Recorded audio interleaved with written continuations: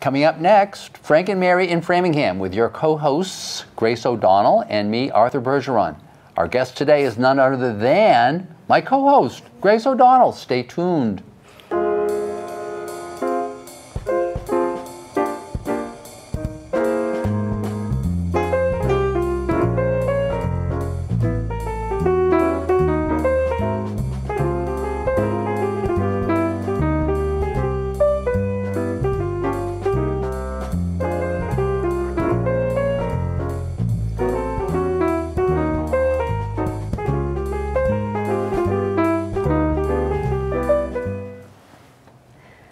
Hi, welcome to this episode of Frank and Mary in Framingham. I'm Grace O'Donnell, Director of Elder Services at the Callahan Center.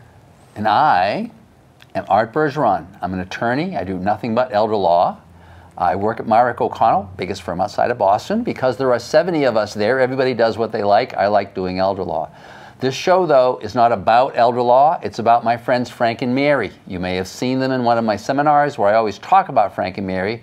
Their kids, Peter, Paul, and Mary Jr. You get the joke if you're old enough, you're this age. And the fact that their goal in life is to live in their house until they die and be buried in the backyard. If you live in Framingham, that means you want to die in Framingham. You don't want to die and go to, or go live with your kids in California and Texas and die there. You want to be here. This is where your friends are. It's where your community is. It's the people you know. So the question is, who are the people you need to know and what are the programs you need to know about? So you can stay right here in Framingham for the rest of your life. My, my co-host is, in this show is Grace O'Donnell, who finds all these great people to talk about all these great programs. So Grace, who is our guest today? Hi, Arthur. Today, I'm going to be your guest. This is so exciting. I've been waiting for this for a long time. This is very big because you're just knowledgeable about everything, right? Well, but today we're going to be talking about something very specific because you've been spending a lot of time on it, right? Yes. We're talking about about the 2020 census The that is 20 coming up in just a few months now. It's right around the corner. because it is 2020 after all. It, it is. Yes, yes. And, and so, by the way, and it's going to start like wh- wh- when? Well, the schedule for the census, Yeah. they will be sending out postcards to people Yeah. in mid-March. In mid March. and I will get into more of those details. So that's what that's what we're going to talk about. But I just wanted to kind of get a sense of for, so for folks who are thinking about this, this is a very relevant program. Absolutely, This is like a really relevant. So can you just kind of talk about the census a little bit? So we, it, we- you know, a lot of times people are doing the local census like every year, but this is like the big deal, right? The federal census. I'm So- glad I'm glad you mentioned about the about local census, Yeah. Arthur, because in fact, uh, all cities and towns do a local census, and it's just as important for people to complete those census information for their cities and towns as it is to complete the federal census. So by the way, does that mean they're going to do two this year? If you're at, if you're at, Yes. yes? Most Okay. likely. I so the fact I- you've done one doesn't mean you can't do the other. Right. We encourage you to do both. Okay. Your cities and towns get their information about you for their own local purposes. Yep. The Yep. federal census needs information from you for larger purposes, and the federal census is not allowed to share their information with anybody. So that's one of the key pieces we want to make sure people realize their information is confidential on an individual basis. The current confidentiality laws that are in place with the census are the strongest we have ever had. No one from the census can reveal anyone's personal information to any other person, not even another federal agency. Even if there were a court order, the census people cannot give identifying individual information to anybody um, it, it doesn't matter what their reason, they just will not do it. There is an oath that census workers take for life, that they are bound to that oath, and they respect that very highly. So you should be participating. You need to be participating. It's important that every one of us participates in the census to make sure we all are counted.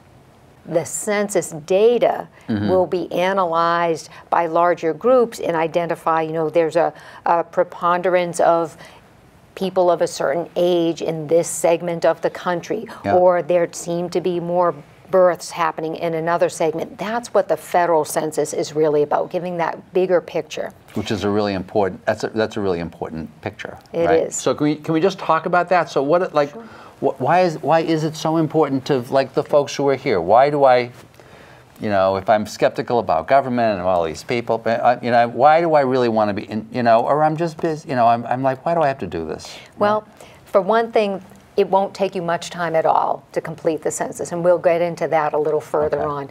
But as far as the importance of it, over $800 billion, billion with a B, is decided based on census figures. That's now how that money gets cut up. that's how it gets decided at the federal level, at the state level, and at the local level. And another big piece of that is that our representation at the federal level, state, and local level also get determined by the census numbers based on the number of people who are responding to it. So it's really important that everybody take that time. And if you're just in one individual, it will take you less than five minutes to fill out the census. If you have a larger family, it will take you a little bit longer because the same questions get asked for each person in the family. But some of the larger categories of funding um, resources that get identified by the federal census are affordable housing, transportation, and healthcare. Those three categories touch all of us. All of us. That's Right, right. So right. just the amount of money that Massachusetts may be getting, the amount of money that Framingham may, may be getting, specifically in terms of housing programs and stuff, it's dictated by how many people are here and who's here. Exactly. In Massachusetts, we have information from fiscal year 2016. Massachusetts got more than $22 billion that was divided up based on the census for the kinds of programs like Medicaid, student loans, supplemental nutrition assistance program, otherwise known as food stamps, affordable housing, highway planning and construction, uh, Head Start programs, Title I grants, all of these programs in Massachusetts relied on the numbers from the census in order to divide up that $22 billion. Which is a, that's so that's a huge deal. It is. So it's a big deal. You ought to be doing it. What are some of the obstacles? You know, Well, uh, among this, this year's Yeah. challenges are the funding for the census this year was delayed. There is less funding at the federal level for the 2010 census than there was for the previous census. And if you stop and think about it, there are many more of us here than there were 10 years 10 years ago, right, So right. we're behind the eight ball on that. There was also a change in leadership at the census, so things were slower to roll out. And there is this whole climate of fear and distrust of government. So we're, we're kind of doing an uphill battle here, but I think a lot of it comes to do with educating the public, making sure that they realize just how important it is Right. that they be counted, and every one of us does matter. We should all be counted, and we all want to be counted. right? So, it, you know, I remember, so I've, you know, we all kind of heard about this a little bit on TV, right? And, and we talked, they've talked a little bit about the fact that you always think of the census as the guy that knocks on your door and you're kind of filling out the form. But that there might, but I, I was, it seems to me that th- there's another alternative way that you can deal with the census this year? Exactly. This year, it will be the first time that the census is going high tech. So most of the responses in the past were all done on paper and Right. handed in, and if you didn't uh, respond, then people went door to door knocking uh, Yeah. to get your responses. Oh, because you originally would get something in the mail. Everybody would get Right. something in the mail, which now nobody gets anything in the mail. Well, that, well, this- well, we with talk the census Yeah. in March, people will get a postcard to start off, inviting them to participate in the census. They will be given a unique identifier that connects with that specific address. Yeah. So not with the person who is living there necessarily, because that may have changed over the 10 years that the last census was done. Right. But it gets sent to that address, To and address. whoever is living at that address, and all of the people at the address, Yeah. you want to be counting those people. I see, I see. So that unique identifier will allow somebody to log on either by way of their computer, a smartphone, or a tablet and be able to answer the census, and their answers will be in like that. What that does is help reduce the number of people who will need to be going door to door, knocking on people's doors. It will reduce the postage needing to mail back responses, Right. and it will get the data into the census much quicker than it ever was before. So if, for us as, as people, folks dealing with seniors all the time, you know that I'm not very literate about some of this mm-hmm. stuff, right? So if I get one of these identifiers or whatever, and I'm really kind of scratching my head, can I call you? Absolutely. Can I call somebody? How- What, what would I do? The Callahan Center here in Framingham has a dozen computers available in our computer center for Mm-hmm. anyone to access at any time except for when a computer program is, uh, a, a- computer class is being conducted. So we will plan to have those computers available for people to Oh. log in. And we will have every one of the computers set up with the census.gov website right there so people can just go right in. We will also have staff assisting people in mm-hmm. case they do have any confusion with it.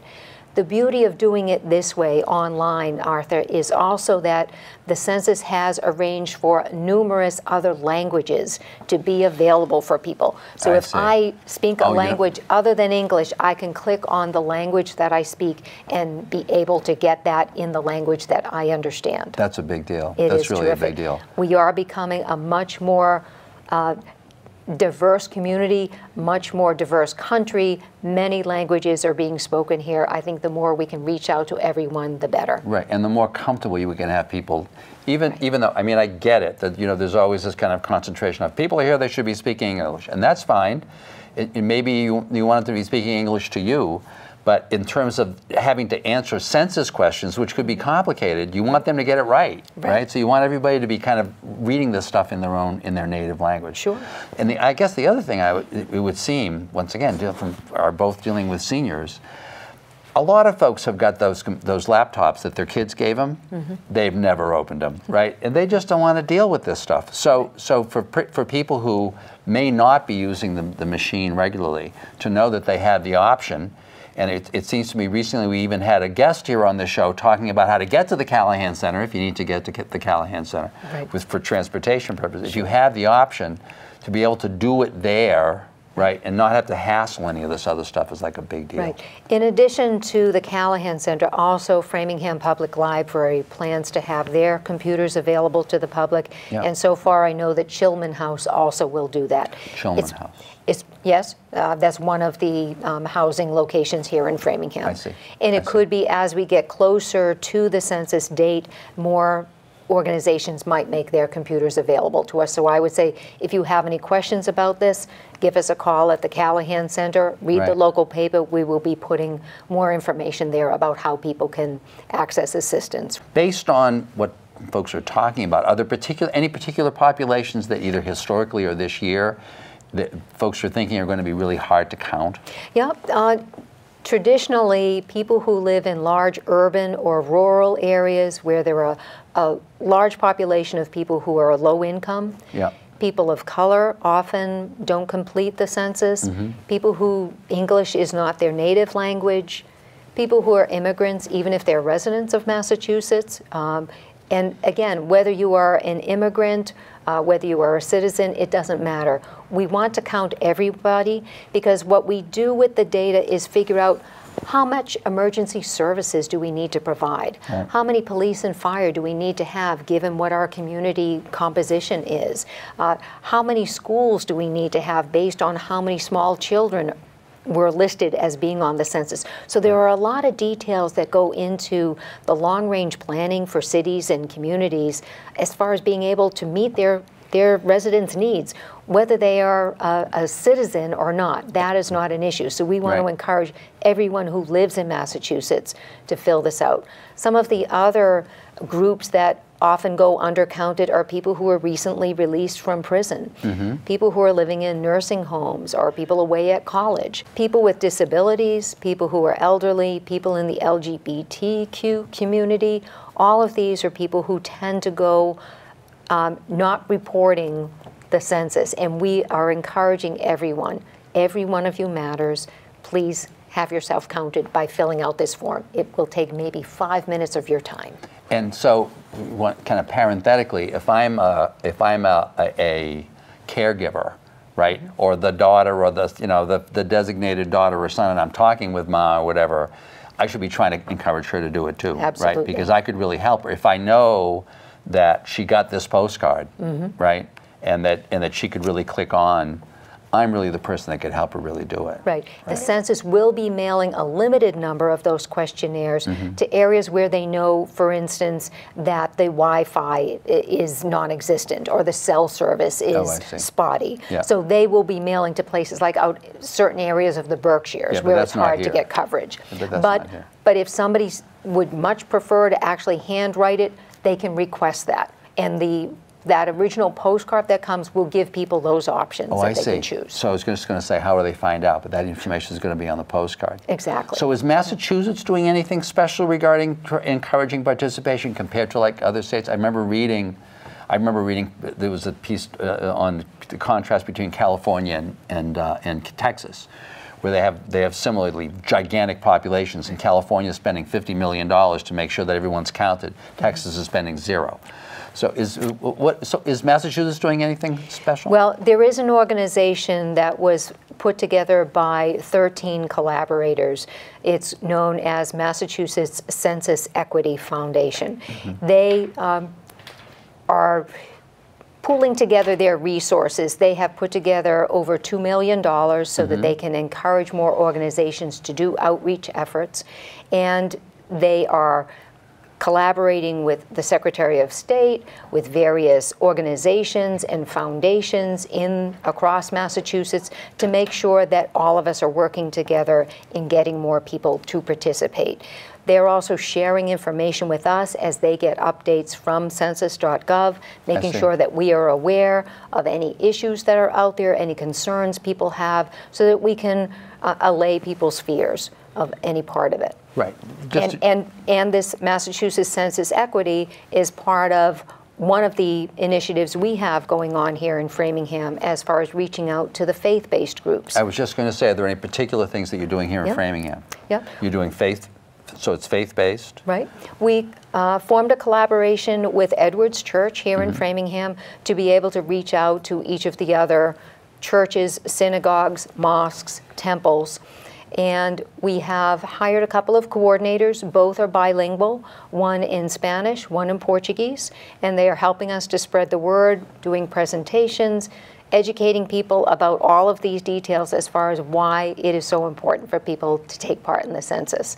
And to date, we have reached uh, almost 200 people. And what I can say is, we start the, the question at the beginning of the presentation in saying, how many of you plan to participate in the census? And we get a, you know, maybe half the people present willing, Right. saying, yes, I'm going to do it. After the presentation is done, we ask the question again.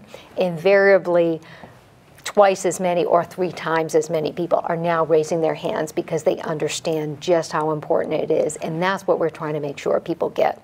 So if people wanted to go to one of these presentations, how would they kind of find out where the presentations are happening? Well, we are scheduling them through all of the faith-based groups in Framingham. The coordinators are working with each of those church leaders now, and as each community is able to make space in their schedule, we are um, arranging for that. And we are doing it not only when services are being held, but also we're available on the week weekends and evenings potentially. So if somebody would like it brought to their uh, particular faith community, we encourage them to speak to their rabbi, their minister, their priest, um, and encourage them to have us open the doors to us. Because the main thing is, is to know that there's still time. I mean, there isn't a lot of time, but there's still time to really kind of do all of this stuff. So is, has Framingham, has, has the city government, you know, kind of globally been really focusing on this? Have they been doing anything special? Absolutely. Is there a, is there a census czar? There's Well, pretty much. Yeah? Uh, Ala You're Abu- not, are you it? I, I am No? not it. No. I, I am a bit player. You're a Uh, but- czarina? but we- No? No? That sounds pretty good. I'll, I'll, I'll Right. take that title. Uh, Ala Abu Salo, who is the Citizen Participation Officer for the City of Framingham, Mm-hmm. heads up the uh, Framingham's Complete Count Committee. And He's the citizen participation officer? Yes. What's that? she encourages. Once again, in, parentheses, what Yeah. is that? She encourages more people to play an active role in their community government. And, you know, we have uh, a wonderful core group of people who were part of our town meeting members Yeah. who are now dispersed throughout the community.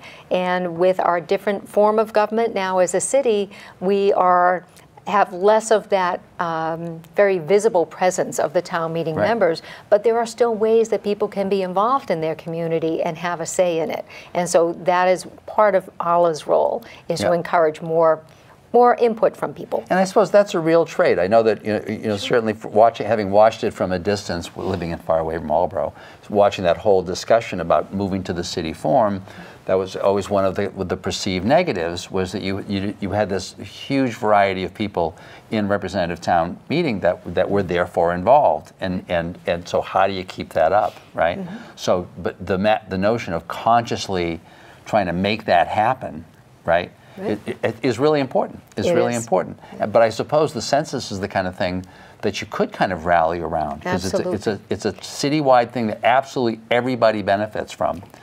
You, you hit the nail on the head. Everyone Everybody benefits, benefits, right. by taking part in the census. As I mentioned, all those different programs that affect everyone of every age, we all benefit from that. And if we all fill out this census, Yeah. then we will all be counted. We'll be able to say exactly how many people live here in Framingham. We know it's somewhere around 70,000 or so, Right. based on the 2010 census and the number of people who have come in since then. But it could be, we might be as many as 80,000 people. And Right. that's a difference with the kinds of programs that you put in place based on those numbers. Right, and So- with the, and with the amount of federal and state support that you get for those programs, because Right. you know, once again, this is literally one of those issues of it's your tax dollars at work. Your, your, your tax bill isn't going to change, your, or your, the amount that you're paying the federal government isn't going to change based on this. The, the what may change is how much you're getting back. Exactly. Right, from those tax tax dollars that you're otherwise just sending to Washington, and they're just going someplace. You know, Right. You know, our, know our exactly ability to fix our roads and bridges are based on these census numbers. Right, those are huge numbers. So if I, I understand that you, you, you want people to sign, to sign up, and once again, for all those caregivers, for all those seniors that we deal with, you want not only you to sign up, but you want to be telling mom and dad, you know, and all these folks, you got to get, you got to get this information. in. Right. So Grace, tell me again, what are the questions that you'll never get from a, from a, from a census worker? So if you get these questions, it's a scam. That's really important, Arthur, to make sure people are aware of that. A legitimate census worker will never ask for your social security number. They will not ask for a checking account number, a credit card number, money, or any donation. So if anyone claiming to be from the census asks any of those questions, close the door on them, hang up on them, delete the email, whatever. I want to be involved. I want to be involved, like as a town, in, in this effort. What do I do? Well, one of the ways you could be involved is to actually sign up to work for the census itself. Uh, they are in uh, uh, very much of a need for census workers. The uh, pay is $27.20 per hour now.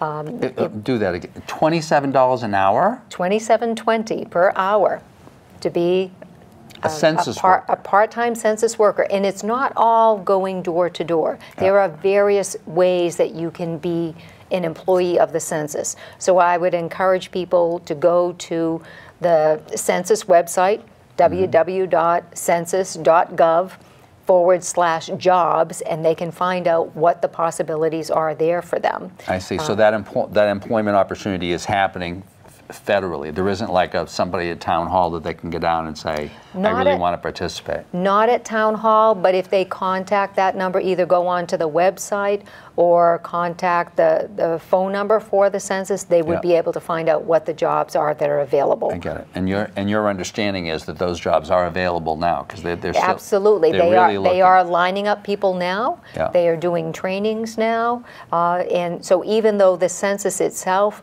won't start with responses until March and April, Yeah. there are different roles happening now that people could be a part And of. And that may be a great thing for a lot of seniors, right? Because I, Sure. I would, because I would think that that once again, given this economy, which is pretty, where, where the where unemployment is pretty low, right? They may be having a lot of problem finding folks, Mm-hmm. and, but this is not, it's, it's not like a long-term thing, right? It's going to be over When, when does it when is it over?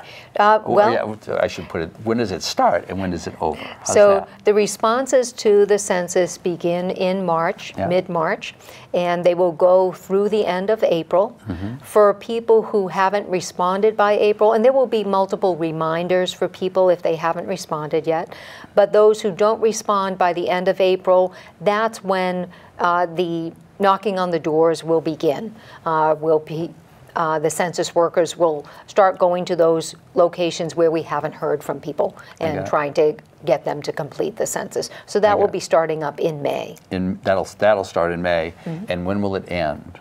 By the end of May, they By hope the to have of all May. of the, the So you can so that's the issue. You've got this. So you so it, there aren't a lot of people Right. who literally could take a month, right, and work a lot during that month, but Mm-hmm. not be working on the other two months. So so you've got this unique population in in in retired folks Right. who may and, and, and they're being paid a lot of money per hour, right, Mm-hmm. to work for a fairly short period of time on a really useful thing. And, right? and people can set the number of hours that they want to work. So they, the census will be very flexible with people's needs and their abilities.